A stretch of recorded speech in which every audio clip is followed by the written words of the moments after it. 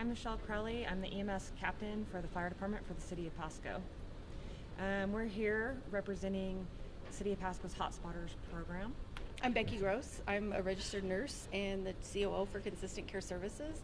We're a social purpose corporation in Tri Cities. We work with the local hospitals and, and health plans to help patients that overuse the emergency room.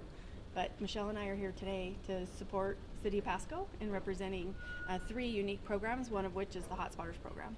So, the Hot Spotters program um, focuses on patients that um, not only overuse healthcare services, such as emergency rooms, repeat inpatient admissions, but it also focuses on patients that are in and out of jail or patients that call 911 a lot use a lot of Michele services, EMS services, or uh, a lot of police encounters, a lot of jail um, visits. And so we focus on those folks um, and try to do wraparound services and identify what's their unique needs and bring all of us to the table.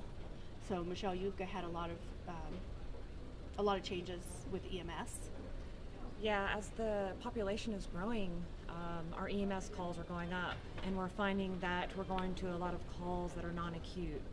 And when these people are calling 911 for their medical needs, we're finding the, the fire department's finding out that we need to go a little deeper and find out exactly why are they calling 911 and it's not just about picking up someone and dropping them off at the emergency room anymore it's finding out really what are their needs and then finding resources like Becky Grohs to help us connect the dots and find the resources for those patients So we do a lot of outreach. We are partnering. We have uh, community health workers that actually go into folks' homes. We see them in jail before they're released.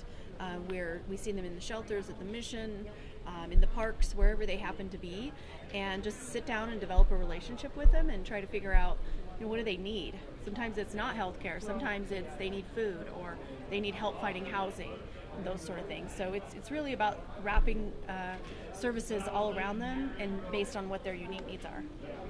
It's important for the fire department to help people that are in need. We have our troops out in the field.